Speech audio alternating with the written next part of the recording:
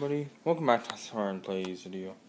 I've been showing you the inside because it hasn't really changed. A little bit stuff has been moved around. Yeah, I don't know why. Put the door there. Well, was the only thing I had. So there are some windows here. Right here. They're all working. Right here.